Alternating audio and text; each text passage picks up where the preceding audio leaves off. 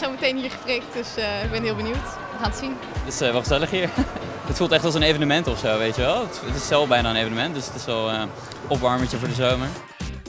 Waarom ik ervoor gekozen heb om het Janssen-vaccin te prikken?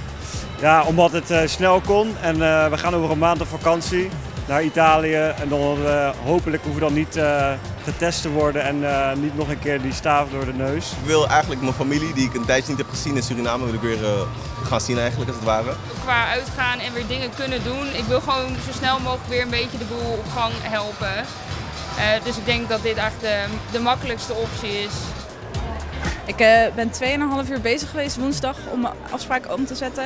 Ik heb het ook geteld. Ik heb 353 keer gebeld. Toen moest ik bellen eh, om uiteindelijk dat afspraak, je afspraak in te plannen.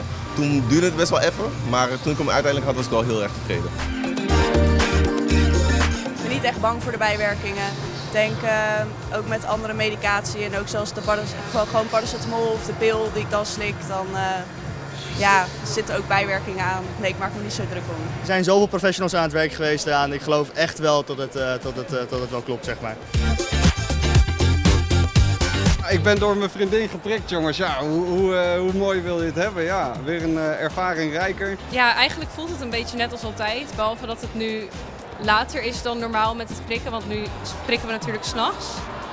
Um, en ja, als je dan je eigen vriendje tussendoor prikt, is het extra bijzonder of zo. Ik ga zo uh, weer terug naar mijn vrienden. Ja. ja, het is vrijdagavond, hè, dus ik moet wel ook een beetje genieten. Zeker nu die, uh, nu die vaccinatie erin zit. Ik ga even een biertje drinken, denk ik. Even vieren dat ik dat ding in mijn arm heb gespoten.